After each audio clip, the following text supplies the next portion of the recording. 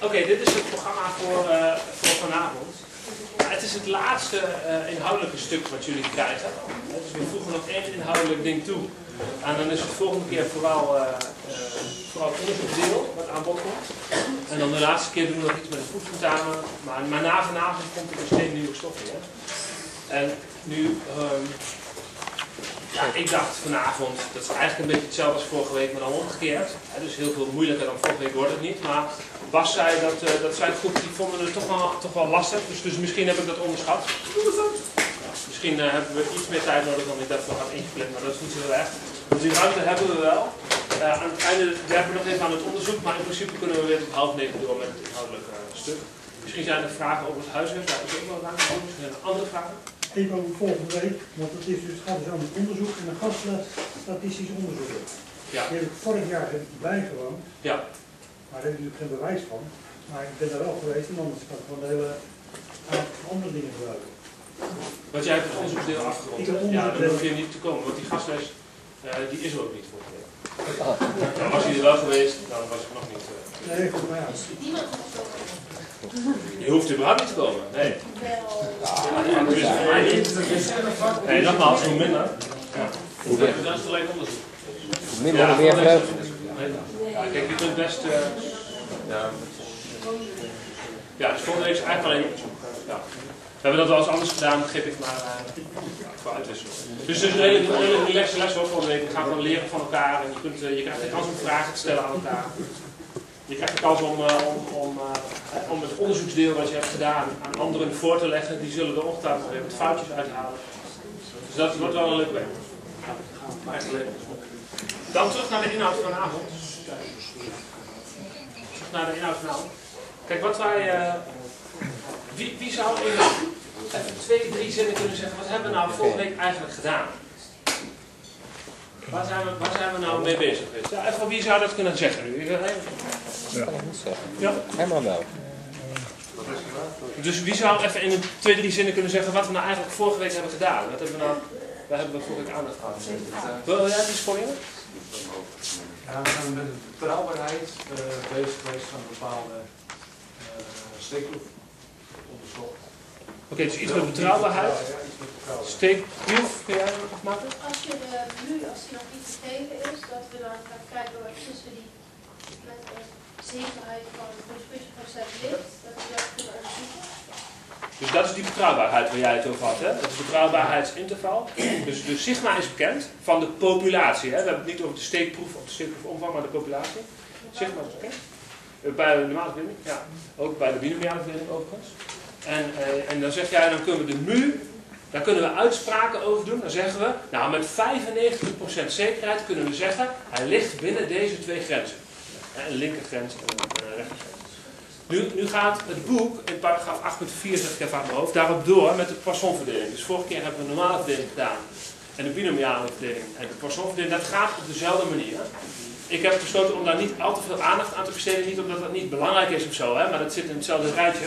Maar dat gaat, gaat volledig analoog aan wat we bij normaal en bij binomiaal hebben gedaan. Als je daar vanavond mee vastloopt, bijvoorbeeld met som 8.11, dan kun je daar best even aandacht aan besteden. Ik wil vooral eventjes richten op het volgende. Uh, hè, dus, dus de vorige keer... Oh, wacht. Sorry hoor.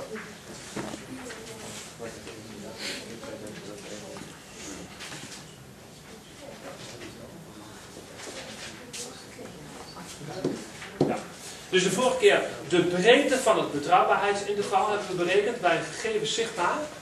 Uh, wat waren de twee factoren die daar van belang waren, die eigenlijk de breedte van dat interval bepalen? De grootte van de steekproef. De grootte van de steekproef. De grootte van de steekproef. Hè? Dus, dus, dus de n had invloed op de... En wat, wat was dan de invloed van die n? Hoe groter de n, hoe kleiner. Hoe kleiner, ja.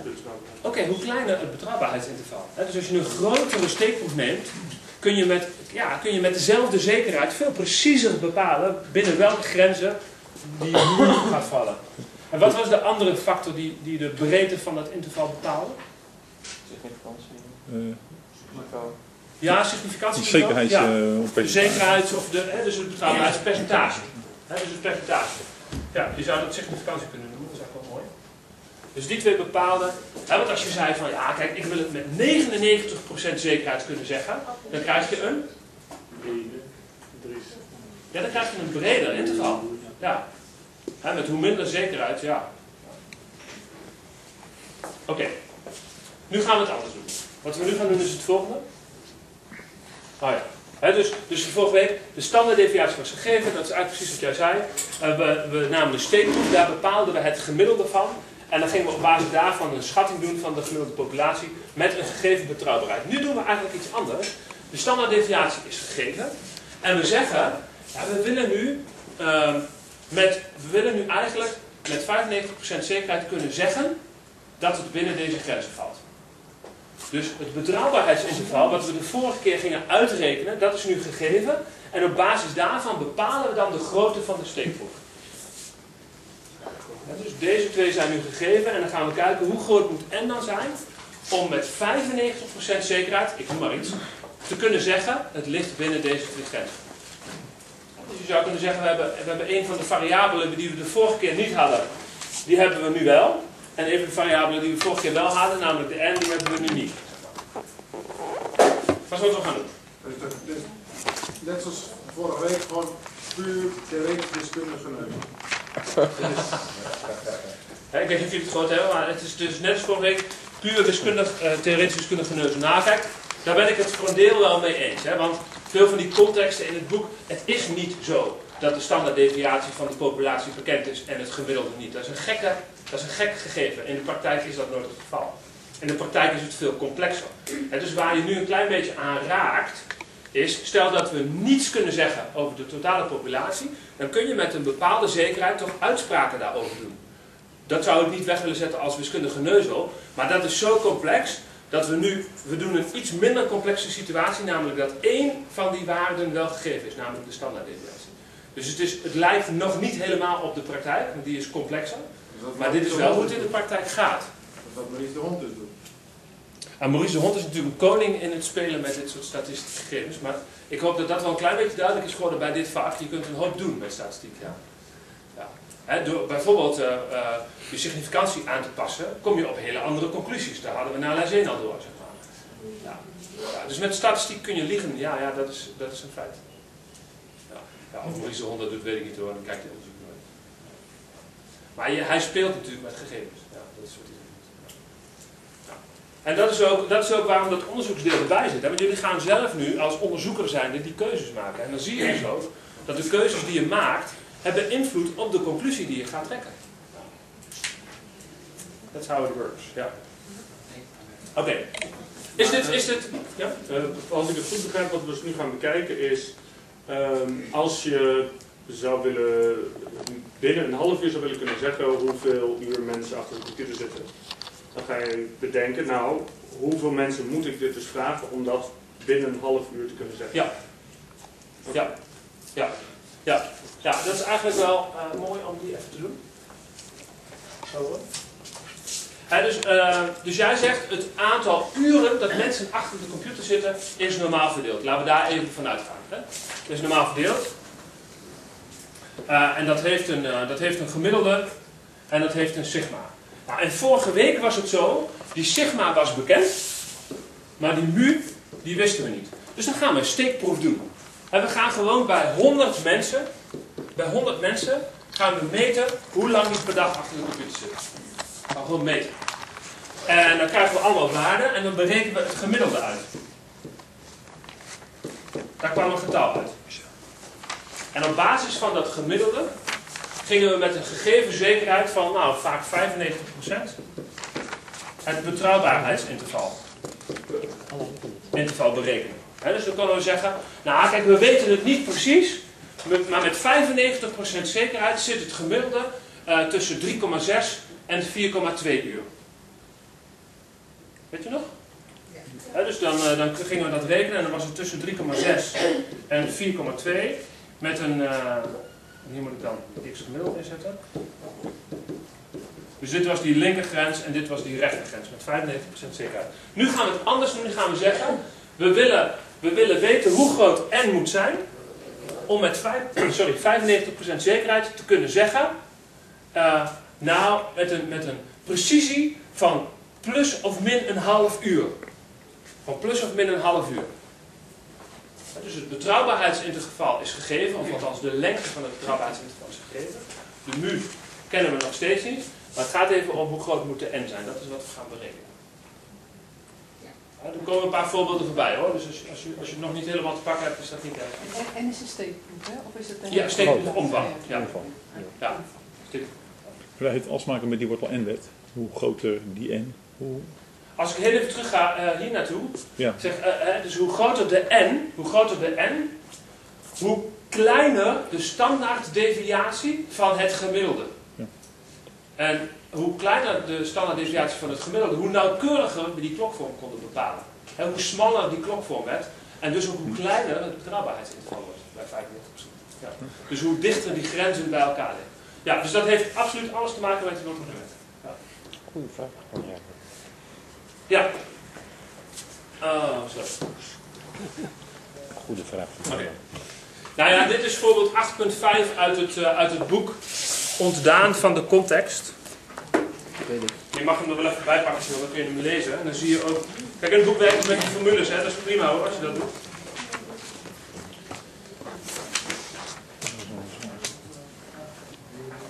Het gaat over een andere beleggingsmaatschappij Ja, voorbeeld 8.5 op bladzijde 247. Nou, weet je, laat, neem even de moeite om hem door te lezen. Dan heb je in ieder geval die context even te pakken. En dan lees je uh, tot, tot gevraagd de steekproef omvang n. Tot daar lees je hem even.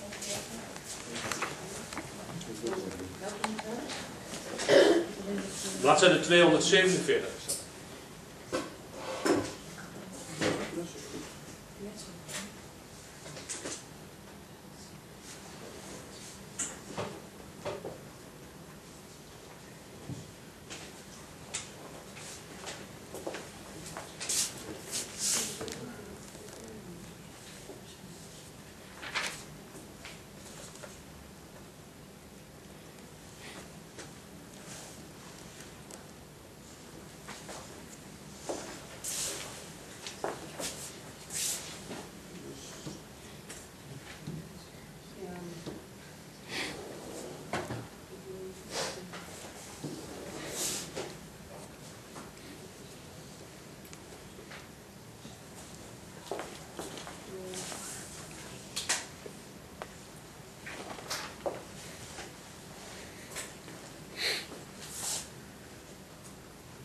Het allemaal gelezen? Ja.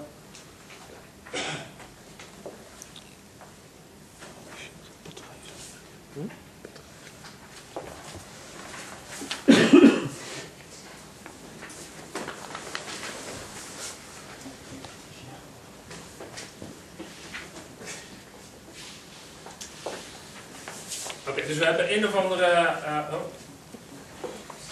een of andere kansvariabele uh, x.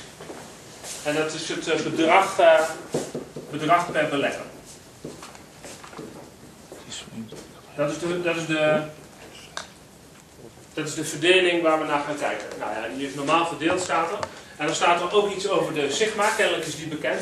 Ja, dat is dus niet heel realistisch. Hè? De sigma is bekend, die is 2, laten we zeggen in duizenden euro's.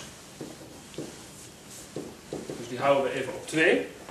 Ja, de mu, uh, ja, die weten we niet. De mu van die gemiddelde, die weten we niet. Daar willen we een uitspraak over doen. Uh, en we weten, dat staat op de opgave, dat we uh, met 95% zekerheid daar iets over willen kunnen zeggen. Dus 95% betrouwbaarheidsinterval. En de grenzen die zij aangeven,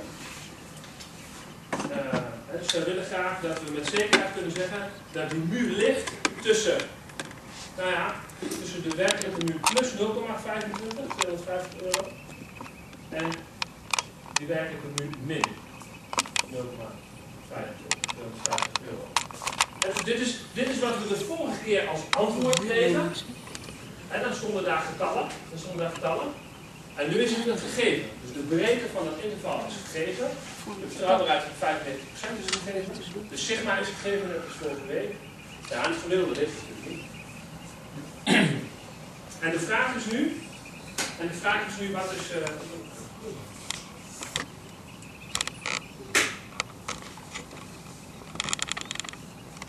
en de vraag is nu, wat is n? Dus bij welke n krijg je dat voor elkaar? Ik introduceer een nieuwe variabele trouwens, dat is uh, de afwijking. En die leidt dan tot dit Van afwijking, die is, natuurlijk van de, die, is altijd gegeven. Hè? Dat, is de, de breedte naar één kant toe, de afwijking naar één kant toe van, uh, van het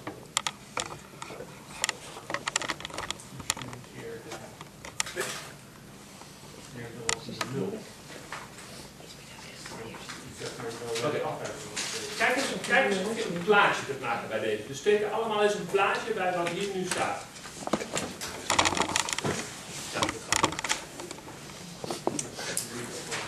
Ja,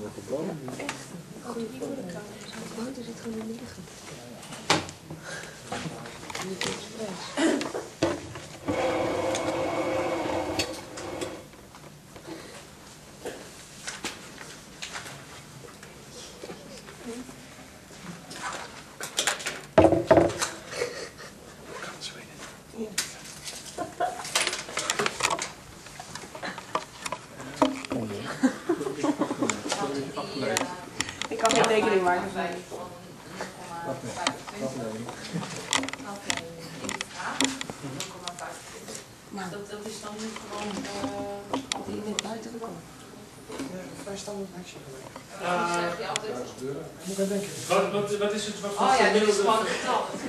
Ja. ja. In duizend euro. Echt wel? Ja, het is goed zo. Ik zeg wel Nee. Ons op de CD? Ja, ja man. Dus, ja, inderdaad. Het enige is dat, uh, dat we kunnen nu nog niet weten zeker van. Uh, Hier. We willen eerst weten hoe groot die moet zijn om die nu te kunnen berekenen.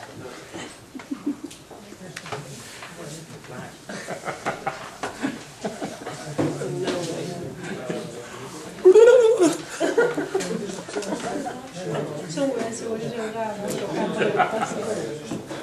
Daarna gaan we die leerlingen doen. Ja. Oké, nu terug. Kijk even naar het plaatje. Kijk, er is een of andere verdeling. Er een of andere verdeling. En uh, ja, we hebben een gemiddelde dat we niet kennen. Maar wat we weten uit de opgave is dat we zeg maar die mu min 0,25 en die mu plus 0,25, dus het betrouwbaarheidsinterval, het betrouwbaarheidsinterval, uh, ja, dat moet 95% zijn. Dat willen we graag. Maar ja, hier valt niet mee te rekenen. Hier valt niet mee te rekenen, die mu is niet bekend. Die kunnen we pas gaan berekenen, gaan schatten, op het moment dat we weten hoe groot n moet zijn. En dat weten we dus, dat is nou net de vraag. Ja, dus wat, is nu, wat kunnen we nu doen? Wat is het? Ze beginnen vast iets plotten. Iets plotten?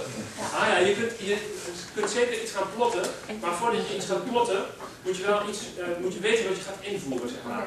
En we kunnen nog steeds niks invoeren, want we hebben... En wat is dan de vraag? Want we weten de mu niet en de n niet. We hebben eigenlijk twee onbekenden, dus we kunnen nog niks gaan plotten nu. Ja? Uh, uh, nu is hier niet relevant.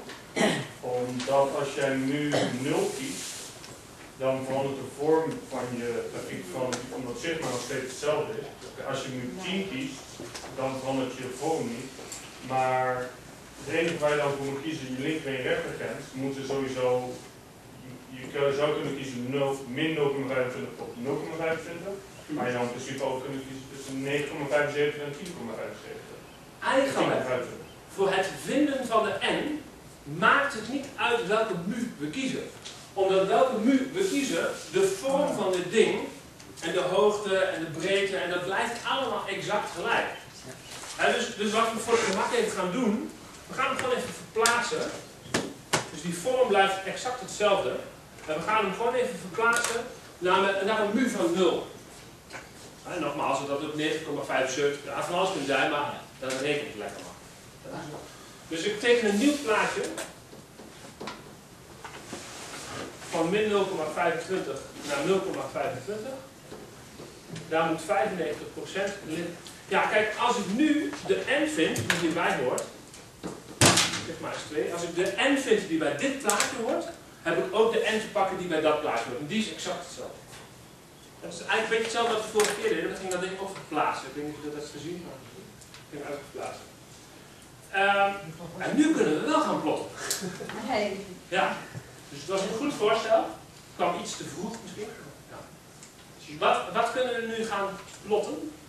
We kunnen nu de, volgens mij gewoon die 0,95.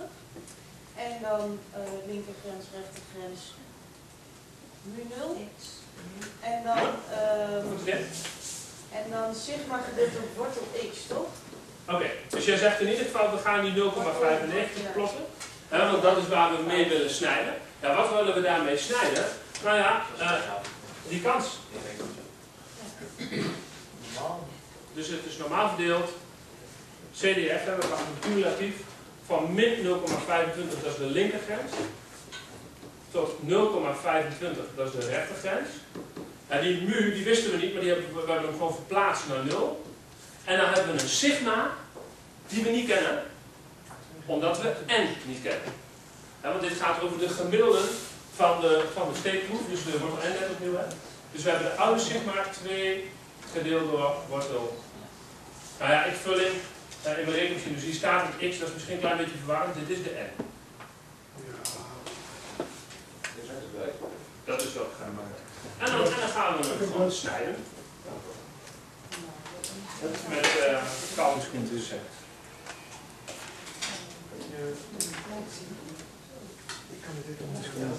Kun je, kun je iets zeggen over die x? Want, de, want zeg maar, als je dit gaat in voor een rekenmachine, dit is veel rekenwerk. Ja, dus je wil eigenlijk die x al aanscherpen. Oké, dan komt even een tip. Kijk, je wil je window-instellingen een beetje goed zetten, zodat je rekenmachine niet al te veel rekenwerk hoeft te doen. Dus je wil eigenlijk alvast op voorhand iets kunnen zeggen over de grootte van. En hebben we te maken met 3040, of met 3000, 4000, of met. En wat voor orde van grootte moeten we denken? Wat je kunt doen, is deze even een paar keer in je scherm invullen met een gekozen x. dus je begint met 100 en dan nu is het 200. En als je er heel erg naast zit, vul je keer 1000. Dat is een beetje de inklemmethode die jullie aan je leerlingen uh, leren. Dat is gewoon schatten. We proberen het een beetje in de buurt. En dan krijg je een beetje gevoel voor. En dan zeg je, oké, dan zal het wel ergens tussen de, uh, nou in dit geval, uh, hoe staat het? Dan ligt het zeg maar tussen de, dan denk je, ah, het ligt ergens tussen de 240 en de 260, een beetje in de buurt, 250. Nou, dan vul je dat in en dan moet je rekenmachine nog steeds heel veel werken hoor.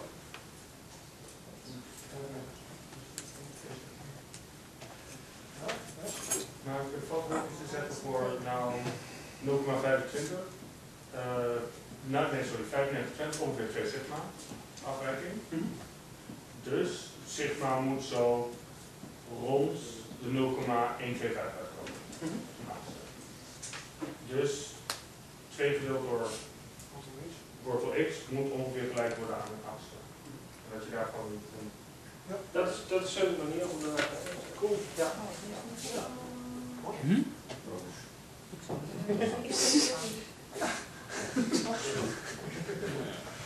Ja, gaat dit nog steeds over het voorbeeld van die beleggingsmaatschappij of is dit nou een ander voorbeeld? Nee, we zitten nog steeds bij 8 5. Ja. Want daar is dus gegeven dat de S, dat sigma 2 is. Ja. Dan kun je dat gewoon allemaal invullen op die formule die daarboven staat. Ja, klopt. Ja. Dat is ook eenvoudig. Ja. ja dat zei we net, hè? dat mag ook. Je mag ook de 246? Ja, 246 is het goede antwoord.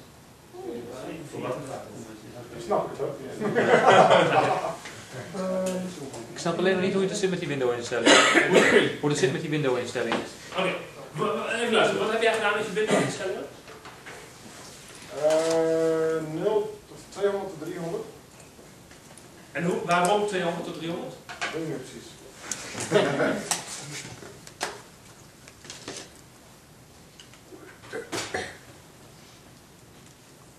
Dat leek me wel een goede. Ja, wat? Misschien. Nou, kijk, het is wel de, de, de kunst om de Kijk, um, voor die tweede is die, is die, uh, is die makkelijk. Ja, want dit wordt een rechte lijn van bij 0,95. Dus je kunt zeg maar I min instellen op uh, bijvoorbeeld 0,9 en I max instellen op 1,0. Nou, dan, dan ligt die 0,95 ligt daarin. Wat veel moeilijker is, is hoe moet ik I1 instellen? En, oh sorry, hoe moet ik x instellen? Dus x min en x max. Ja, weet je, ik zou dat niet zomaar kunnen beredeneren, dus ik ben het gewoon gaan proberen. En op een gegeven moment zag ik dat het een beetje in de buurt van de 2,50 zou moeten zitten. Oh, je, je vult dit in je rekenmachine, gewoon. Gewoon in het rekenscherm, zeg maar. Ja. En, je, en je probeert wat waarden voor x om een beetje gevoel bij te krijgen. En dan zie je dat je er in het begin soms heel erg naast zit hoor. En soms zit je met tientallen te prutsen en dan, uh, en dan hebben zij het over 12.000. Ja, maar ik kan, ja, hoor. Ja. Ik kan niet eens bedenken in waar ik in de buurt moet gaan zitten zo. Nee, nee, nee, dat begrijp ik. Dat is ook jouw vraag. Maar daarom zeg ik, wat je kunt doen, is hier wat proberen. En je begint gewoon willekeurig. Noem een getal. Ja, 10. 10. Je begint met 10. En dan denk je, ja, dat is veel te laag. Ja. En dan probeer je... Ja, 100. Ja, 100, 100. Hoe zie je nog steeds net iets te laag? Hoe zie je dat? Hoe zie je dat? Dat norm CDF vul je gewoon in de rekenmachine. Dit vul je gewoon in je rekenmachine. En dan ga je kijken wat eruit komt. En je, je zoekt naar een bepaalde waarde. En, je, en dan, ja. Ja, maar hoe, hoe weet ik dat 10 niet goed is? Omdat je dan 0,76 eruit. En je moet Kijk even voor de duidelijkheid. Kijk even, dat is wel belangrijk. Als ik jullie had gevraagd, als ik jullie had gevraagd, het volgende te doen. Kijk. Dus, dus voordat wij überhaupt elkaar kenden, konden jullie de volgende vraag oplossen. Tenminste, er was een tijd dat jullie tentamensstatistiek 2 deden en dat konden, zeg maar. Dus dan had ik gezegd, dan had ik gezegd, er is een, uh, er is een, uh, een, een normaal verdeel, bijvoorbeeld de lengte van de Nederlandse man is normaal verdeeld met een gemiddelde van 184 centimeter. En de standaardafwijking is 6 centimeter. En dan had ik tegen jullie gezegd, welk percentage van de mannen ligt tussen 178 en 182 centimeter? Dan hadden jullie ingevuld, normaal CDF, 178, 182, 186, het gemiddelde, 6, de standaardafwijking. Dat is wat jullie hadden ingevuld. Dan bereken je een kans tussen twee waarden. Dat is precies hetzelfde als wat ik hier heb neergezet. Alleen met een aantal, aantal onbekende waarden. Ik kan natuurlijk voor die x, de steekproefomvang, kan ik wat keuzes gaan maken. Ik kan een beetje proberen. Bijvoorbeeld 10, hij zei, of 100. Als ik nog steeds te laag ga ik nog 200, nog net iets laag 300, ben ik eroverheen? Nou, doe ik tussen de 200 en de 300.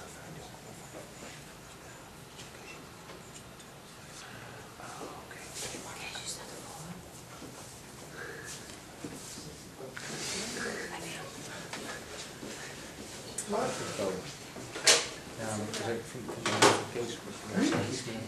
Op het moment dat je dus gewoon in, als je gewoon, als je dit op dit stukje gewoon inrammt en als 100 tot 0 Ja. Ja. Doe je dus 200 komt er 0,9279. Je weet dus dat je dus Maar boven de 200 moet zitten. ik kwam erachter, maar ik weet niet, ehm, door gewoon in de tabel te kijken en bij 0 te beginnen en dan eerst maar stappen van 50 te nemen of zo. En dan kun je ook al vrij snel zien wanneer je in de buurt van de 50 Dus eigenlijk hetzelfde, hè? in plaats van proberen, kun je ook even een tabelletje maken met stappen van 50. Ja. Of als dat te klein is met stappen van Ja, dan ga je 50. ja, ja. Ja, zeker. Ja, als je maar een beetje gevoel krijgt bij waar moet ik ongeveer in de buurt zijn. Maar nu heb je de minder niet goed. Dat maakt niet uit. Oh ja, nee. Nee, Nou, om de window dus goed te krijgen, vul je, vul je dit gewoon in. Gewoon Window doe je. Ja. Als je, je gaat maar in je window, als je daar, eh, je gaat naar 10 maar op 50. Wat wij in de Ah, Ja. Ja. En dan kan hij nog steeds uitrekenen.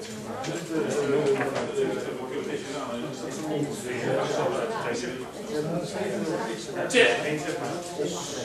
Tip om bij je window-instellingen de resolutie van de X, de X-res, niet op 1 te laten staan, maar op 5 te zetten.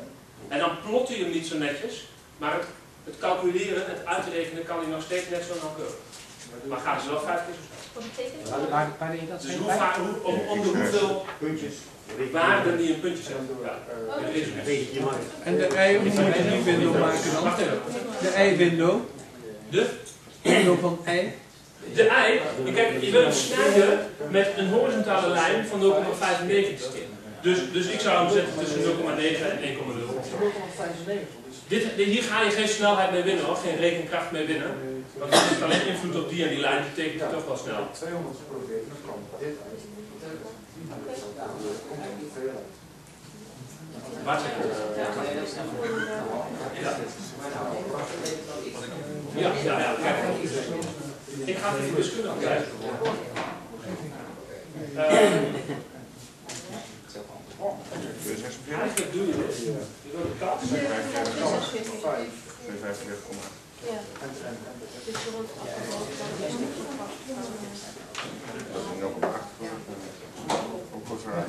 Nou ja, maar één, maar ook eentje.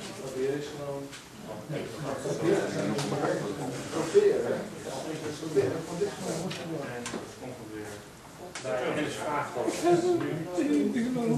wil. Eigenlijk je deze kans aangegeven. En je wil dat die kans 95% is. Of eigenlijk groter of gelijk aan 95% is. Dus je het Een klein dingetje als dat je enter, enter, enter moet drukken. Als je dat dan wil. 0,5 die kant uit. Dus wil daartussen 95% 100. Minimaal 45. Dus je vult een link nu. Dat is te maken dat we naar de plaats stellen. Dat moet je kennen. Je kunt er nog geen Maar die M, die is voor beide vormen. Ik dacht dat het Hij geloof ik. Ja, maar dan is het wel. En je krijgt een getal, je krijgt een getal van, wat is het? 245, nog iets, jij liefst 246. Ja, kijk, je wilt minimaal 95%, hè? dus je moet niet naar 245 gaan. Maar je moet naar een N van 246 gaan, anders haal je die 95%. Ja, oh, zacht. Maar zo. Wel op hele getallen. Ja, een Ja, sterk gewoon, eh, Niet te verwarren met binomiaal, hè? dat is wat heel hebben het gewoon over een normale verdeling. Maar je doet een steekproef van colaflesjes. Of bonbons, of weet ik veel, of mensen. Koekjes. Snoepjes. Of in dit geval, uh, ja, mensen. Beleggers. Beleggers, ja. Ja, dat zijn ook mensen. Ja. Ja, in dit geval. Maar het is ook bij als het 0,1 is, dan is het toch, moet je naar boven afkomen en dan wordt het toch pas betrouwbaar. Ja, en als, je, als het gaat over het betrouwbaarheidsinterval heb je absoluut gelijk. Dan rond je, dan rond je naar boven af. Ja, want bij, als je, als je 6,1 hebt, Ja. kijk bij 6 haal je die 95% niet. Maar bij 7 wel, ja, het is zelfs wat meer, maar bij 7 wel. Dus je moet naar boven afkomen. Ja. Het is altijd Ja. Oh. Zoals dan, dat is gewoon een betrouwbaarheidsinterval.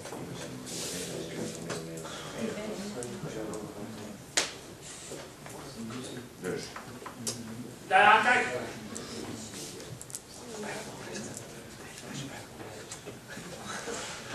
Thuis kijken, zit weer laten ze zo. YouTube. Ja, jij kan het ook. En nu kun je aan de slag, hè? Nu, het is een beetje een cirkeltje, want nu kun je aan de slag waar we de vorige week begonnen. En dus nu weet je hoe groot je steekproefomvang moet zijn om tussen bepaalde grenzen met een zekere zekerheid, in dit geval 95%, iets te kunnen zeggen over je gemiddelde. Je hebt je gemiddelde nog niet. Sterker nog, die kun je ook nu niet gaan berekenen, want dan heb je data nodig. Maar je weet in ieder geval dat je van 246 mensen hè, een beleggingsinvestering of wat was het moet gaan vragen. En dan krijg je een steekproefgemiddelde. En dan kun je iets gaan zeggen over, de, over het gemiddelde van de populatie. Dus nu zijn we eigenlijk waar we de vorige keer begonnen.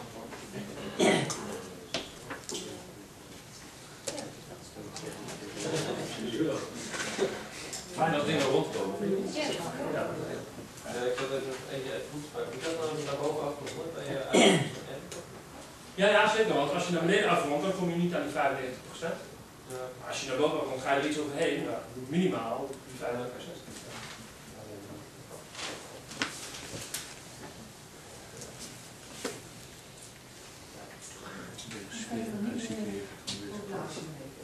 Dat hebben we gezegd. Ja, de populatie van de steek. Nee, luister even. Dit is wel belangrijk. Dus je kunt nu nog steeds niet zeggen over, de, over het gemiddelde, over de mu van de totale populatie. Wat heb je daarvoor nodig? Gegevens, data. Data. Data. Van hoeveel mensen? 246. Ja. Dus je kunt eigenlijk nu pas beginnen aan het verzamelen van data. Ja. Staat erop. Oh, staat Ja, dat er is vast. Ja, ik ben blij. Je snapt het nog. Dus je kunt nog steeds niks zeggen over de mu, maar je kunt nu aan de slag. Je kunt data gaan verzamelen. Ja. Van hoeveel mensen? Nou, dat hebben we net uitgelegd. Oké. We gaan, we gaan er straks gewoon mee oefenen. En dan als je soortjes verzamelt. Ja, dus, en dus nogmaals, in het boek werken met die formule. Als je dat prettig, ik weet niet of jij dat prettig vindt, dan, dan is dat natuurlijk prima. Hè? Ja. Ja, sterker nog, we ontkomen daar ook niet helemaal aan hoor, om te werken met die formule bij de binomiale verdeling. Dus we gaan nu eigenlijk hetzelfde doen met de binomiale verdeling. Ook de Ja, kijk, je kunt wel, eh, als je die formule, je- ja, ik vind dat zelf nooit zo heel prettig, zo'n formule die dan uit de lucht komt vallen, kan dan weten waar die vandaan komt. Die kun je, dat is niet heel ingewikkeld in dit geval, je het leuk doen. Die kun je wel uit het plaatje afleiden hoor. Als je een beetje handig bent met die z-waarden en zo. Dan rolt die formule eens. Nou, dat doen ze in het boek voor. Beetje. Oké, nu doen we eigenlijk hetzelfde. Nu doen we eigenlijk hetzelfde, alleen voor een binomiale verdeling. En dan zitten we een klein beetje met een lastig dingetje. Want, eh, ja kijk, bij een binomiale verdeling gaat het over, als over zo'n kans op succes. Hè? Noemen ze in het boek pi, wij gebruiken vaak p, kans op succes. Bijvoorbeeld, ik gooi met een dobbelsteen, was de kans ik 6 gooi, dus een zesde. Hè? Dus dat is binomiaal verdeeld eh, met, een, met een p van 1 zesde. Als de, als de is het aantal keren dat ik 6. De kans 6 gooi. Maar die p is natuurlijk niet bekend. Dus we komen een beetje in de knoei. Dit is, eh, dit is bijvoorbeeld 8.6 a. Op bladzijde 205. De P is niet bekend. Even de context, dus het gaat over eh, aanhangers van de monarchie in Nederland. Ja, en we willen eigenlijk, eh, ja, hier zit een, hier zit een addertje onder. Nou, hier zit een beetje een lastig ding. Is in Nederland schatten met een 99% betrouwbaarheidsinterval en een nauwkeurigheid van 1%. Ja, die 1% is misschien verwarrend, ja, maar waar, we het net hadden over duizenden euro's, hebben we het nu over procenten. Dus de eenheid op de horizontale as is in procenten. Dus dat heeft niks met kans of zo te maken. Dat is bijvoorbeeld, eh, ja, ik, eh, ik zeg dat, eh noem eens iets, 75% van de Nederlanders is, hoe noemen ze het, is eh, aanhanger, weet je, aanhanger van, de, van de monarchie. En dus dat is gemeten in procenten. En net zeiden we, een belegger investeert gemiddeld 2000 euro in een fonds. Of de, de lengte van de gemiddelde man, gemiddelde Nederlands man, is 186 centimeters. Dat is dan de eenheid. En nu is de eenheid procent. Dat is verwarrend misschien. Dus eh, een nauwkeurigheid van 1%. Dus we willen eigenlijk kunnen zeggen, nou, met 99% zekerheid ligt het percentage eh, zeg maar tussen, tussen 56 en 58 procent. dus een interval van 1% naar beide kanten. Plus of min 1. Hoe groot moet dan de steekproefomvang zijn om met, met die breedte, met die breedte van 2%, iets te kunnen zeggen over, eh, ja, over die P eigenlijk? Ehm, nou, laten we eens even kijken. Dus ik ga even opschrijven wat ik weet. Dus x, eh, dat is de stookgast, hè? Dat is eigenlijk het aantal aanhangers. Nee, dat is niet het aantal, sorry. En dat gaat om de fractie, ja, dus dat is een percentage. Ja.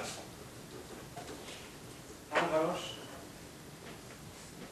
van de monarchie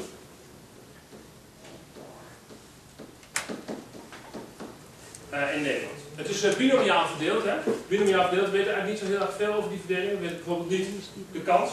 Maar er staat in de opgave, ja, dat ligt, dat ligt een beetje tussen, tussen zo'n beetje rond de, rond de 75 procent. dus als ik, een, uh, als ik een willekeurig iemand uh, op straat aan zijn kraag trek, dan is de kans 75 procent, waarschijnlijk zo'n beetje rond 50 dat hij aanhanger is van de monarchie. Of je zou maar zeggen, drie vierde aanhanger van de, van de monarchie en een kwart niet. Het betrap, het, uh, de, uh, het, het, uh, de, de zeggen, waar we het over hebben. De afwijking waar we het over hebben is 0,01. Dat is namelijk plus of min 1%. Ah ja, ja, wacht even. Dus hier, dit komt overeen met 75% van de Nederlanders is aanhanger van de monarchie. Dus we willen straks iets kunnen zeggen over van 74 tot 76 procent. Daar moet, dat, daar moet dat tussen liggen. Met 99 procent uh, zekerheid, dat is het interval volgens mij.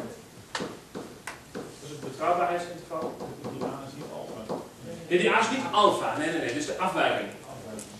Het dus net was dat uh, plus of min 250 euro. En nu is dat plus of min 1 procent. Ja, waar gaat het allemaal om? Nou ja, het gaat allemaal om die n, hè. We willen die n vinden. Hoe groot moet die steekproefomvang zijn? Zodat we met 99% zekerheid kunnen zeggen. De p waar we het over hebben, de kans waar we het over hebben, de fractie waar we het over hebben, zit binnen deze twee grenzen. Plus of min 1.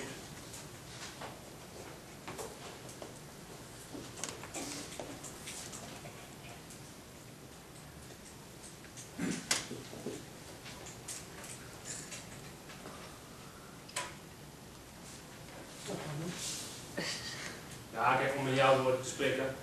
Uh, wij hebben het allemaal over, maar dit gaan we een klein beetje schatten. Dan moet je iets over kunnen zeggen, dat is natuurlijk in de praktijk vaak ook niet als het hier om gaat, dit wil je juist eigenlijk bepalen. dit, wil, dit wil je niet gokken, dit wil je gaan bepalen met een enige zekerheid. Dus het is een beetje gek dat we die kiezen. Dus we gaan zo dadelijk bijvoorbeeld zien als hij niet bekend is, maar nu zie ik even bekend. Dus als ik hem teken, 3 miljard verdeeld,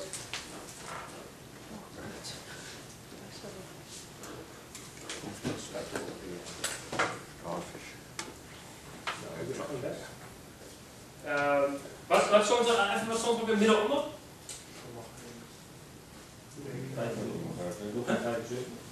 Nee, niet 0,5. Nee, Wat staat er altijd onder het midden van een binomiale verdeling? Niet, niet, de, niet het gemiddelde. Verwachtingswaarde, hè? Ja. Ja. Hij is voorkennis, dus niet heel erg. ja. En kijk Was er een andere uh, hoe schrijf je die EX ook wel anders van vakken, toch? Of nu is dat toch ook dan... Nee, pas op. Pas op. Kijk, bij een normale verdeling hebben we het altijd over mu, dat is het gemiddelde. Bijvoorbeeld, uh, de gemiddelde lengte van de man is 186, de gemiddelde in zo'n flesje 5 milliliter, dat is allemaal normaal verdeeld. Hier gaat het om, uh, om verwachtingswaarde. Bijvoorbeeld, bijvoorbeeld, ik gooi met een dobbelsteen.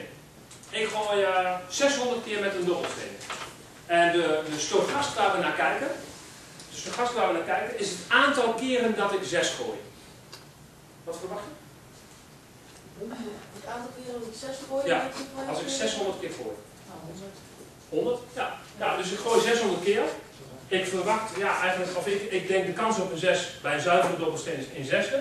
Dus ik verwacht 100 keer. Dit is het aantal keren dat ik 6 gooi. Maar weet je wat ik nou verwarrend vind? Want ik weet vrij zeker dat we in de vorige cursus wel mochten zeggen, je doet NTP, dat is je nu, die ga je toepassen in de normaalverdeling, daar haal je er dan alleen één af. Wacht even, pas op. Kijk, je mag niet zeggen, je verwachtingswaarde is je nu. Je mag wel zeggen, ik ga deze normaal benaderen. He, dus het is een binomiale verdeling, dat weet ik. Maar de n is zo groot dat ik ga doen alsof het een normaal is. Ja, en dan ga je er eigenlijk gewoon een klokvorm doorheen tekenen. En dan krijg je de continuïteitscorrectie heb je dan mee te maken, omdat het om helen gaat. Ja. En dan werk je met een muur, want dan heb je er een normale verdeling van gemaakt.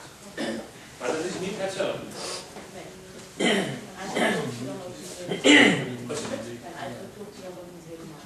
nee, nee, je benadert hem. Nee, je benadert hem normaal. En hoe groter de n, ja, hoe nauwkeuriger dat is. Dus in veel gevallen kan dat niet. Ja, nou ja, we hadden iets met een, eh, met een betrouwbaarheidsinterval. Dus ergens zitten we met, uh, met twee grenzen. En we willen graag dat daartussen uh, 99% het betrouwbaarheidsinterval is. Ja, we weten n niet. En we weten p niet hadden we hebben P wel een soort van schatting. He, dus we hadden, we hadden voor P uh, geschat eh, uh, 0,75. En, ja, nou ja, en, de, en de afwijking was 1%. He, dus, dus hier, hier staat... 0,05. Nee. Nee. En een keer?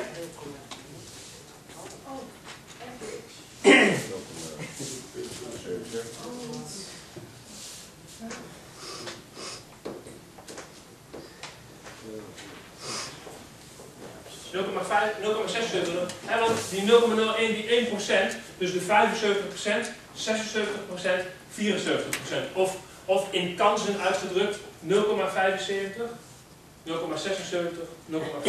En nogmaals, dit is verwarrend, want de eenheid waarmee we rekenen in het voorbeeld zijn procenten. Maar je moet procenten gewoon zien als lengte, als inhoud, als aantallen mensen, als dus gewoon de eenheid waarmee je rekent. Dat is dus wat anders dan, dan die 99%. Dat, dat gaat over kans. De kans dat iets, iets optreedt. De kans op succes.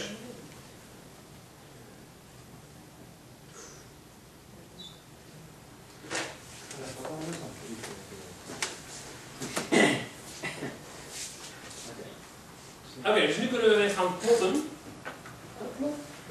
En nogmaals, het kan ook met de formule, gaan we zo dadelijk eens even doen.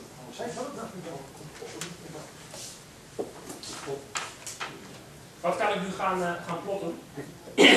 nee, ik moet trouwens niet gaan plotten, maar dan komen we zo. Maar wat kan ik invoeren in mijn rekenmachine? Welke twee ga ik met elkaar snijden? Die dan van 0,9. Nee, niet normaal uh, PDF. Hè? Nee. Binom. Oh, binom, ja. Ja, het is in ieder geval een binomiaal, binomiaal verdeeld ding. Dus het is iets met binom. Wordt er bij I1 of? Ja, we doen eerst I1. Ja, we kunnen I2 alvast opschrijven, denk ik, of niet? Ja. 0,99.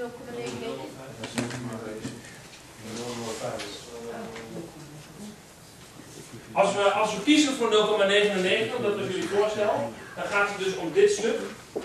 Uh, ja, het gaat allemaal om kansen kleiner of gelijk aan hè, bij het binom CDF.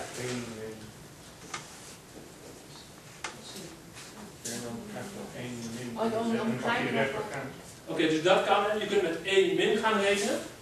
En dan ga je naar dit stukje kijken, of je kijkt naar dit stuk, of je kijkt naar dit stukje, of je kijkt naar... Maar uiteindelijk, wat de makkelijkste manier is om te kijken, is alles links hiervan, min alles links hiervan. dus alles links van die uh, rechtergrens, min alles links van de linkergrens, dat moet meer zijn dan 99%. Klinkt. Het gaat om dit stukje. Kijk, bij normaal CDF was het makkelijker, want bij normaal CDF mag je een linkergrens en een rechtergrens opgeven. Ja. dus kun je gewoon normaal CDF, linkergrens, rechtergrens, nu sigma moet 95% of meer zijn. Maar binom CDF werkt niet zo. Binom CDF kijkt alleen maar naar, naar links. Kans kleiner of gelijk. dus je kunt wel de kans kleiner of gelijk aan dit getalletje berekenen. Ja, maar dan heb je nog niks en dan heb je dit stukje er ook bij. Dus dat moet je dan nog even afhalen. Als ik het opschrijf, zie je het misschien wel. Dus binom CDF, uh, even kijken, want het, uh, ik het? Ja, dus, dus, dus uh, dit is x, want dit is de n die we willen weten. Ja, P hebben we geschat op 0,75, staat gegeven in de opgave. Nogmaals, niet heel realistisch, maar het is fijn. Uh, 0,75. En de rechtergrens is... Uh, ja, 0, inderdaad, 0,76. Oké, x, dat is weer die n. Dus dit vullen we in. En daar halen we dan vanaf. Ja, eigenlijk hetzelfde, maar dan met de linkergrens. Dus min. Dino CDF.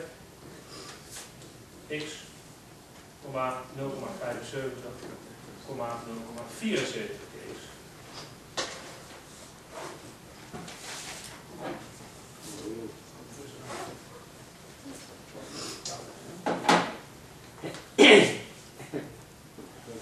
Dus het stukje tussen die linker en die rechtergrens moet 99% zijn of. Ja, ik zei plotten, waarom kun je dit niet plotten? Ja, het binomiaal. Ja, ja. Dus, je, uh, dus je kunt niet werken met een grafiek, maar je kunt wel werken met een uh, tabel. Ja. ja. Krijg je hetzelfde probleem hoor, want dan moet je natuurlijk ergens een beetje in de buurt gaan zitten. Maar ja, dat geldt hetzelfde voor. Vul dit in in je rekenmachine. Varieer een beetje met die n. Speel daar een beetje mee.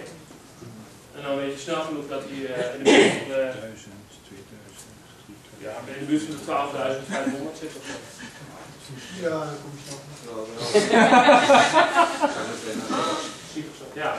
ja, als je met 1000 begint, 2000, 3000. Dan gaan we bij 1 in stapjes van 0,2. En dan denk je, dit ging niet op, ik doe een keer 10.000, hey, ik ben er nog niet. Ja, nou, dat is even puzzelen. Ja. Maar dat gaat altijd nog sneller dan 12.500 keer naar beneden bladeren in je rek. Ja, ook hier geldt weer, je kunt ook weer stapjes doen hè, in je tabel. Doe gewoon stapjes van 100. Dat is hier. Je kunt hier zeggen, omdat je die vergeten, waarin je het wil weten, is heel smal. En het percentage dat je daartussen wil hebben, is heel hoog. Dus je kunt zeggen dat het ken wordt levensgewijs heel groot. Ja. En het zal niet meer worden dan 17 miljoen. Ja. Kijk, dus, dus de grootte van de n, zeiden jullie aan het begin zelf, de grootte van de n heeft invloed op de breedte van je betrouwbaarheidsinterval. Nou ja, we hebben hier, we willen het met grote zekerheid zeggen, en we hebben een heel smal interval, namelijk van 2%. Dus dat suggereert al een klein beetje, die n die zou best eens heel groot zijn.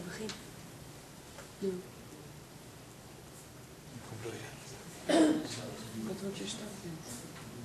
Nou ja, ik was al even bezig toen dacht ik bij 300, maar ik kan echt rustig doorgaan tot uh, van de, boven de 1200 zit nu. Ja. Kees, ja. jij wat zeggen? Je wou wat zeggen net. Ja, niet zoveel. Ja, ja. Nee. De rest heb ik niet van kijken, maar nee.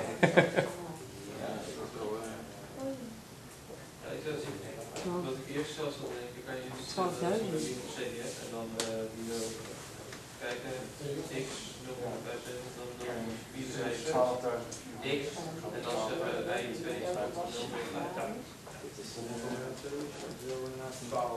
omdat dat een berekening minder ja, maar ik wil dit, ik wil dit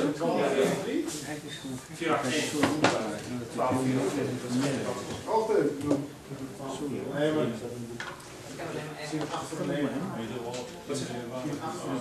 Oh ja. 12 4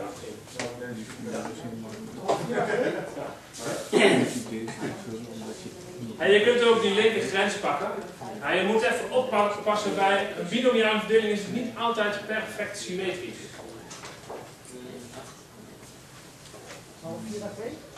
Ik denk dat dat Je kunt eigenlijk niet zeggen van als ik die kant weet, dan mag ik zeggen dat is aan die kant ook dus voel van het. Nou, en dat heb ik aan gedacht. Dat vorige keer heb ik gemist. Dus toen dacht ik, oh ja. Ja, kijk, dat heeft dus je zit er nog meer mee naast. Nee. Maar je kunt natuurlijk wel zeggen, als ik die andere kant wil breken, ik kan ook gewoon 1 min. Sprong van 2000. Als je dat makkelijker vindt. Ja, gewoon. Oh ik nu onderweg. Gaat hier van die 0,75? Ja. Ongeveer. Stel nu dat het percentage... Je gaat echt heel veel tijd in zitten straks. 0,73 Ja. je hoeveel? Twaalf Ja, dat klopt. Geven en als je geven is, heeft niet heel veel zin om een bepaalde nauwkeurigheid te 1224 is bij mij ook al goed. Dan krijg je dus daar maar als antwoord uit. Waar zie je dat? Ik zie alleen maar 0,99. Zoveel makkelijker. Ja.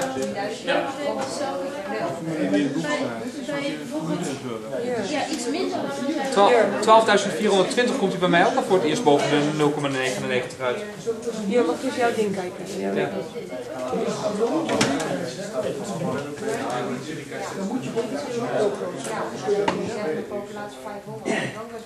Nou, maar geen idee van die machines. Ik zal het doen, ik zal het Keer x. Ja, dan gaat hij daarna weer omlaag. Hè? Heeft hij, hij er twee lagen tussen en dan gaat hij weer omlaag. Hier. Je moest nog invullen gewoon binom CDF. Ja. 0,75. Ja. X 0, en dan is het 0,75. Oh, 0,76. Keer x. En dan 0,99 bij E2.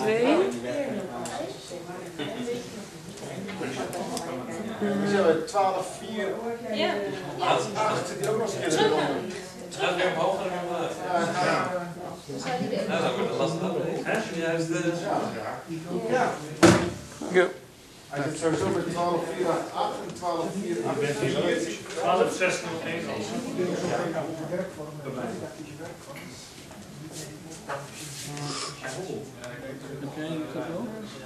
Ik heb hem nu gewoon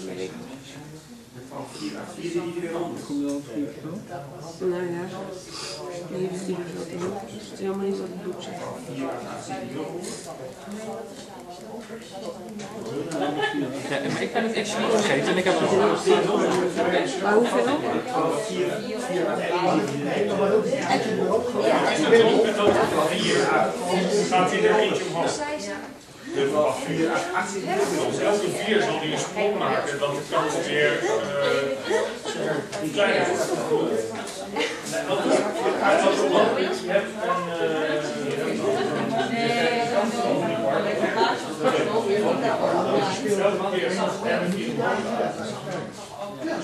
Dan komt er. Ja, ik kan even kijken of het nu doet. Ja. 12, 4, 16 uh, pakt hier verschil bij bij mij voor het eerst. Maar als je eronder zit, dan gaat hij hij weer niet omlaag. 17, 18, 19, 14, 12, Hij pakt hem 24 daaronder gaat hij weer ook al. omhoog. Ja, hij ziet bij mij net als de 0,993 en dan weer 994 en dan weer 993. Ja, Want hey, hier, op 11.000 heb je hem ook al. Ja. Ik heb hem nu, je hebt ook gedaan, met 12. Hij komt voor... Hier is die 5. Ik heb hem alleen naar de linkerkant. Ja, in principe hetzelfde uitgekomen. Wat doe jij? Ja. Want ik heb 12.400. Gaat ie? Als jij dat invult, dan vult je 481 in. En nu is 485. En nu is 487. Maar ben je niet fitten? Ik, ik, ik ga even. uh, Dat is wel. 12 uur. Gelukkig. 12 uur. Gelukkig hebben we nog een andere manier. Gaan we het nog maar gedaan. Ja, exact hetzelfde. Maar bij 601, dan, uh, want bij jou schokt hij aan de bovenkant, bij mij schokt hij aan de onderkant. Bij mij duikt hij er altijd net één stapje tussen. Ja, het heeft, het heeft vast iets te maken, ik denk niet gelijk, het heeft vast iets te maken met de kans. Kijk, je verhoogt n iedere keer, eentje. En met, van, die, van die ene is een bepaald percentage, is dan, waar gaat het ook over? Analogie of zo? Dat is en.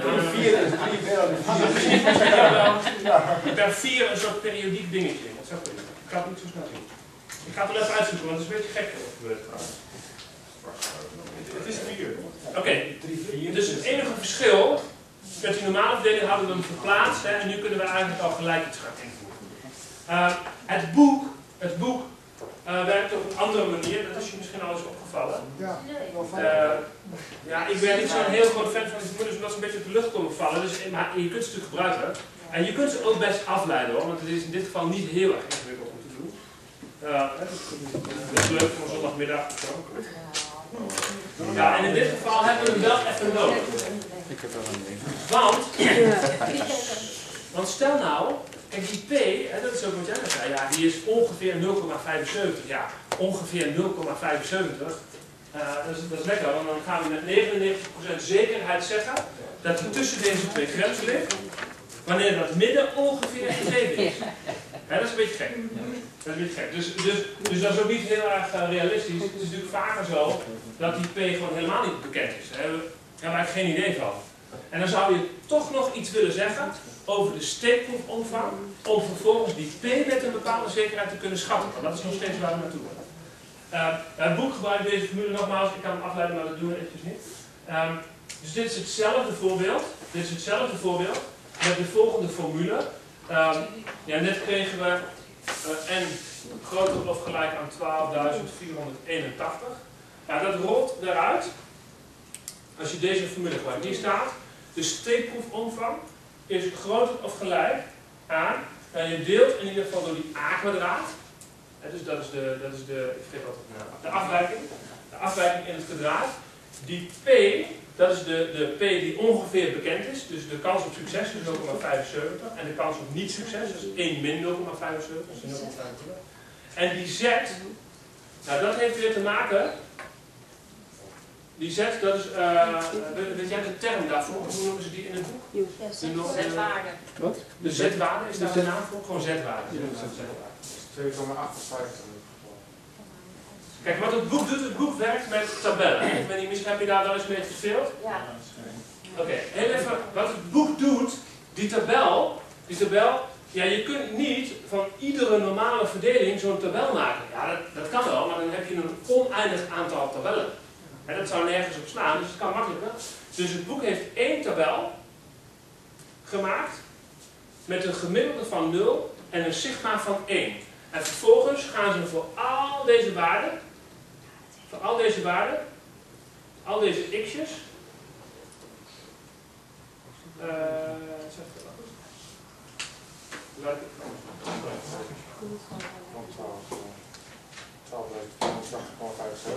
voor al deze, ah, dat is ook niet hard. Voor al deze, voor al deze vraagtekentjes gaan ze de kans dat x kleiner of gelijk is aan vraagtekentje uitrekenen.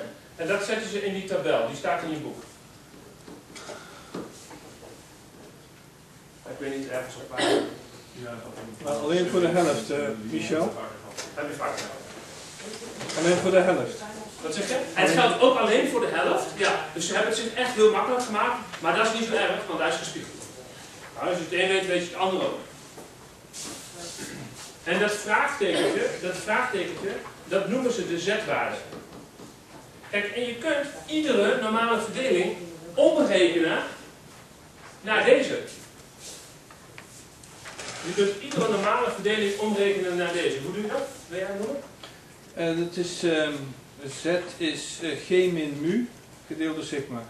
Z is G. G min mu. Grenswaarde. Grenswaarde. Veel beter. Grenswaarde. Min mu. Grenswaarde. Grenswaarde. Min mu. Ja. Dat is een transformatie over de horizontale as. Hè? Dus je verplaatst hem naar 0. Min mu gedeeld door? Sigma. Sigma. Dat is zo'n transformatie. Je dikt hem in of je, of je trekt hem uit. Dus het zijn gewoon transformaties van grafieken. Dit zeg ik iets, dat Het is gewoon een transformatie. Je, je, hebt een normale verdeling met een bepaalde mu en een bepaald sigma. En wat je doet is je verplaatst hem naar 0. En je deelt hem door sigma. En dan krijg je deze.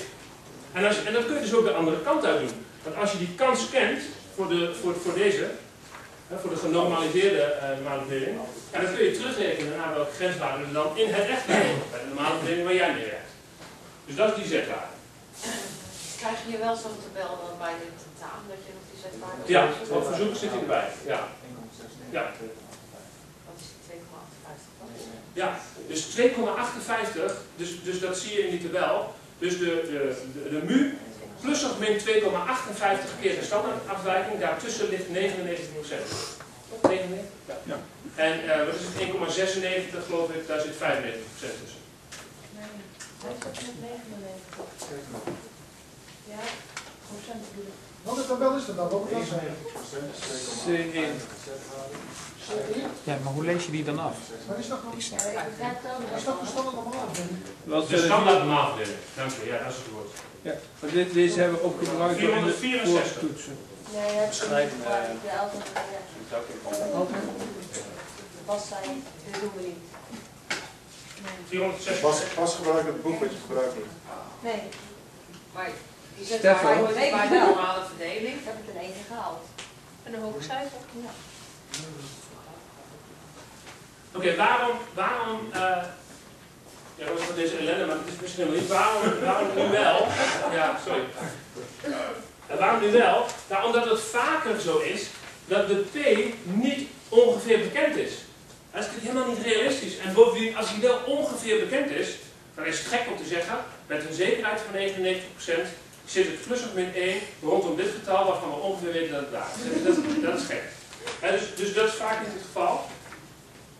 Ja, oké, dan hebben we die formule, maar we kennen P niet, dus we kunnen niks invullen. Dus we kunnen niks invullen. Nu is de vraag aan jullie om te beantwoorden. Dus de vraag aan jullie, als ik naar dit stukje kijk in die formule. Dat haal ik er even uit. P maal 1 min P. Hoe groot kan dat maximaal worden? Dus hoe groot 1. kan Nee, het maximaal worden? 0,99. 1. Bij welke getallen moet ik invullen om hier 1 uit te krijgen? 1 en 0, nee, is 0. Ja. Eh, Een half een half. ja, je komt, wat je ook probeert, ja, je kunt, het is gewoon een kwadratische vrijheid dus, hè. Dat kunnen we allemaal doen, doen we niet. En dus, eh, dit komt nooit boven een kwart uit. Dit is altijd kleiner of gelijk dan 0,25. Wanneer wordt het 0,25? Bij P 0,5. Ja, varieer maar. Doe maar 0,4 en dan duikt hij eronder. Doe maar 0,6, oh, dat is hetzelfde, dan duikt hij er ook eronder. Nou, een parabol. En met een top. En die top is 0,25. Dus dat getalletje in de formule kan nooit groter worden dan 0,25. Dus we spelen op safe. We spelen op safe. Als de P niet bekend is, wat vaak het geval is, dan vullen we in voor P maal 1 min P 0,25.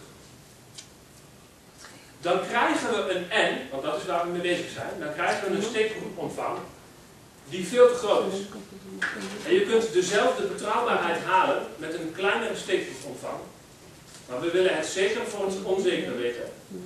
Dus dan pakken we gewoon 0,25 en dan weten we zeker, als we een steekproefomvang kiezen van die omvang die daaruit rolt, dan zitten we aan de veilige kant.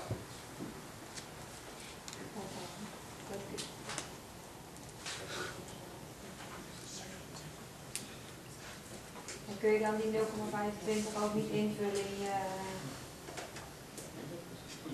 wat je invult bij I1. Moet je Ja, maar daar echt werk je niet met die P maal 1 min P. Dus daar kom je niet helemaal mee uit dan.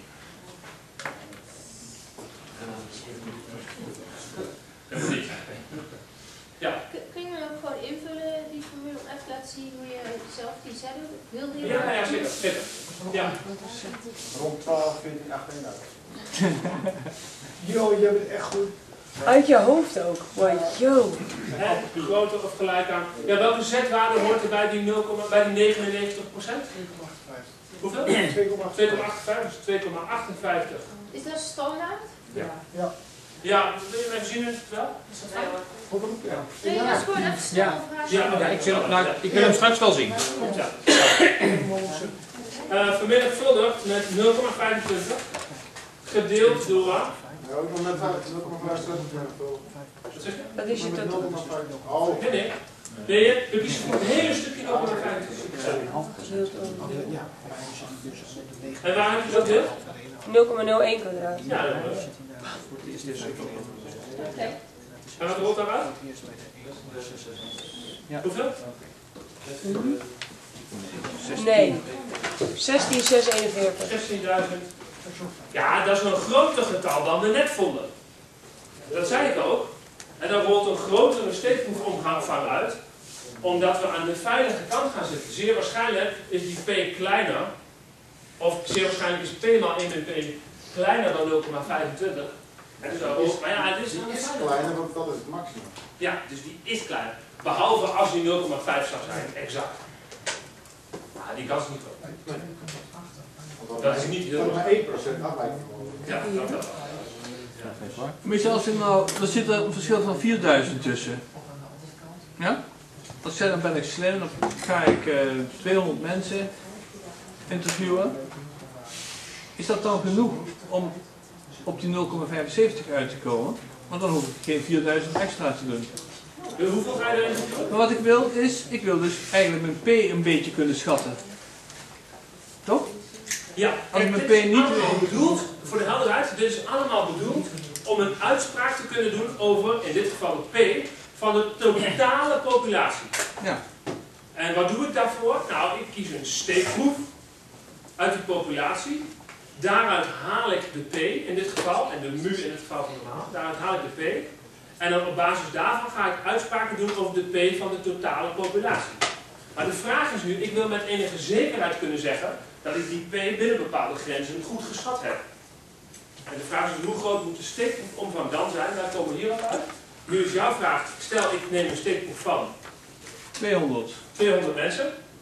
Alleen maar om een inschatting te kunnen maken van, van mijn P. Als ik hem helemaal niet weet, moet ik 16.000 mensen interviewen. Ja. Als ik hem weet, hoef ik er maar 12.000 te interviewen. Dat is Nee, een verschil van 4.000. Ja, ja. Ja, maar ja, dat is een beperking klein. Maar als ik het ongeveer weet, hè, dus ik ga het nog eens zeggen. Dus als ik hem ongeveer weet, dan hoef ik veel minder mensen te interviewen. Precies. Ja. Maar wat heb ik nodig om hem ongeveer te weten? Ja, dat is, niet, dat is eigenlijk nooit. Dus je Want weet wat altijd betekent ja. ongeveer? Hè, betekent dat, eh, nou bij verkiezingen zou je kunnen uitgaan van het jaar daarvoor. Of bij de gemeenteraadsverkiezingen van de landelijke verkiezingen. Of bij de provinciale staten van de... Maar jullie weten allemaal, dat is nogal aan verandering onderhevig, zeg maar. Dus het aantal VVD-kiezers is nu anders dan toen. Maar op basis daarvan zou je dat kunnen doen. En dan, en dan zit je nog redelijk in de buurt. Maar dan ben ik Maurice de Hond en dan wil ik het graag eh, zeker zeggen, maar ik wil niet te veel geld uitgeven, want het kost me allemaal bakken met geld. dat wil. Dus ik ga voor 200 mensen ga ik interviewen. Dan denk ik, oh het is ongeveer 0,75. Ja. En dan kan ik met, met 12.000 mensen kan ik uit de voeten. Ja. Mag dat? Ja, dat mag, dat mag. Maar je kunt eh, op basis van die 200 vervolgens gaan berekenen met eh, of je wel echt met 99% betrouwbaarheid Nee, dat niet. eh, die grenzen kunt aangeven. Dus er gaat, ergens gaat er iets mis. Ja. Dus ergens ben je een klein beetje aan het smokkelen. Ja. Maar, ja, misschien wel behoorlijk als je het slechts op 200 baseert. maar het, is wel, het zou kunnen dat je zegt, ik doe een steekproef om vervolgens die P ongeveer te weten. Om vervolgens de grootte van mijn steekproef enigszins te beperken. Dat bedoel ik. Ja, maar dan moet je accepteren dat, dat die 99% die je verkoopt, niet echt 99% is. Maar stel dus dat er iets heel raars uitkomt, dan kan ik altijd zeggen van nou die steekproef, die eerste was gewoon te klein. Ja. ja, maar je weet niet of er iets raars uit komt, er komt gewoon iets uit. En dat noem je jouw voorspelling. Maar er komt iets raars uit als uit mijn 12.000 een heel ander verhaal komt als uit, uit mijn 200. Oh ja, ja, ja, ja, ja, ja, inderdaad. Als daar heel veel verschil tussen zit, Ja. dan was je in de eerste 200 beslist niet ja, select. Precies. Ja, nou dat zou misschien nog wel een manier zijn om de ja. Dus eerdere verkiezingsuitslagen of eerst een steekproefje doen om. Ja, dat is gewoon een. Ja. Maar wat je dus hier eigenlijk doet, ehm, is je vult 2,5. Als ik dat doe, dan kom ik eh, op een lager percentage dan 99 bij 16.617. Dat is minder. Die tegenhouden niet. Zeg als ik dat doe, als ik 0,5 0,5 dus wat ik gedaan heb, ik heb gewoon binom CDF eh, X, dus, eh, en, en dan 0,5 als mijn P ingevuld. En vervolgens eh, komma eh, 51, dus mijn werkgrens. En vervolgens mijn linker, linkergrens eraf gehaald en dat stuk moet 99% zijn. Ja. Vervolgens gooi ik dat in mijn tabel en dan volgt daaruit dat als ik invul, als ik een N invul van 16.617, dan duik ik al, om, eh, al boven de 99%. Ja. Ja, maar P is niet 0,5. Ja, maar met een P van 0,5 vijf heb ik het maximale aantal mensen dat is minimaal nodig. Ja, dat klopt, maar je kunt dat niet andersom ophouden, omdat P is niet 0,5. En dus, dus dit getal komt eruit Ja. op basis van die 0,25, zou ik maar zeggen. Maar je kunt dat niet zomaar omdraaien, omdat je dan zou moeten rekenen met de echte P die je niet kent. Maar willekeurige andere P die je invult, wordt het minder. Nee, dat hoeft niet zo te zijn. Ja, je hebt gelijk. Ja, de laatste klopt wat je zegt. Ja, sorry. Ja. Ja. Dus als ik de grootst mogelijke P pak, wat waarbij het maximum heb, Zo nog een keer. Nou kom je daar en van? Spiek hoor, dat was het. Eh, ik kom op 99%, kans is veel eerder. Eh, maar bij 16.610 zit ik ook al boven de 99%. Waar, waar heeft dat mee te maken? Dus hij vindt, als hij het terugrekent bij een P van 0,5, vindt hij eigenlijk een getal bij 1600 16.610 duidt hij al onder die, boven die 99%. Waar heeft dat mee te maken? Zetwaarde. Met, Zetwaarde. met de z-waarde, ja. Die z-waarde van 1, van 2,58, dat is een afgeronde waarde. Kijk, dus het verschil dat jij vindt is helemaal niet zo heel groot. Het gaat over een paar tientjes Ja. op, op, dit, op dit aantal. Ja, dus dat is wel logisch dat dat gebeurt. Ja. Weet. Maar eigenlijk moet je alleen onthouden, als je de P niet weet, dan pak je de 0,5. Moet Ja, eh,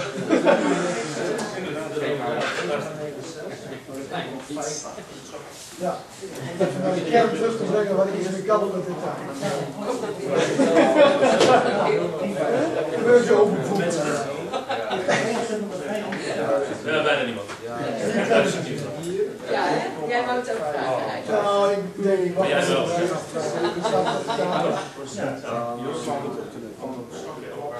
Nee, maar dat is mooi. Dat zijn mooie vragen, want dat, dat leidt tot begrip. Dus het volgende woord. Ik ben ook wel jaloers op dat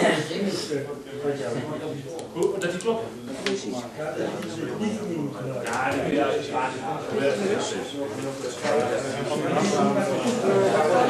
af. Nee, maar als je het laat leert, kun je het automatisch zo gaan.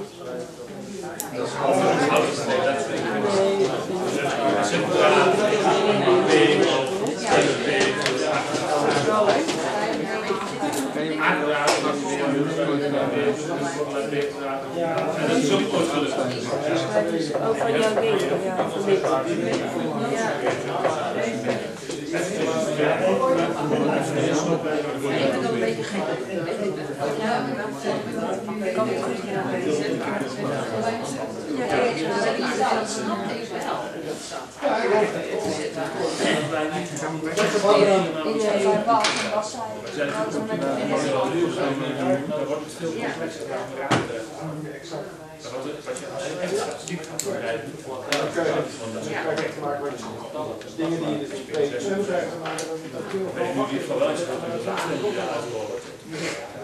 we allemaal mee maken. Die is allemaal even terugkomen. Kijk, fotografie moet niet goed Nou, die ging dat niet doen, maar wij willen dat doen. Die zegt, Duizend gaat de berekeningen los. En duizend. Koffie. Een percentage toch wel Mag dat in de de? Hoeveel bijna? Nou, kijk, als je dat het beschrijft, zeg maar, dan ben je echt 200 in totaal. Nee, ik heb alleen maar... eh, Alleen maar jongens die zijn bij mannen. Nee, want gewoon mannen en vrouwen. Het zo zonder. Dus ze, hm, mag je dezelfde waarde. Nou, Nee, eh, ik ik heb alleen het zelf een bepaalde afstand van die waarde die waarde die. Dan met wel weet ik niet met 99% de uitgangswaarde. Een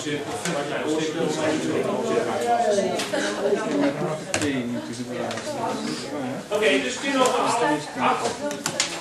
Verdelen en kleiner dan. Kijk, Ik had een, een som voor jullie uh, klaarstaan om een klein beetje te oefenen. Die kan ik projecteren, maar er staat ook sommen in het boek. Mijn voorstel is gewoon weer om tot half negen, ja, om half negen uh, de tijd te nemen om in ieder geval even die pauze te houden. Uh, nog even kijken naar de huiswerkopgave. Ik blijf gewoon hier, dan kan je helpen.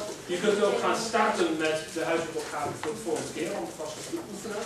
En je zou eventueel ook aan je onderzoek kunnen werken, maar daar staat het gezamenlijk om half negen. Ja, wacht even wacht even. We kregen natuurlijk ook nog die derde, de poisson of zo. Nee, kijk, de poisson, even over de poisson. Dus we hebben de vorige keer het betrouwbaarheidsinterval bepaald. Voor de normale verdeling, voor de binomiale verdeling. En voor de poissonverdeling, die staat geschreven in paragraaf 8.4. Maar die gaat op exact dezelfde manier als die andere twee. Daarom heb ik daar nu geen tijd aan besteed. Uh, als je zegt van ik wil daar, nu jij erbij bent, nu ik erbij ben, wel eventjes mee stoeien, dan zou je bijvoorbeeld uh, opgave 8.11 kunnen maken. Die gaat daarover. Mocht je daar nou helemaal niet uitkomen, dan wil ik daar natuurlijk wel even iets over zeggen. Maar ik kan me niet voorstellen dat je daar niet uitkomt, dan gaat het precies hetzelfde. Ja.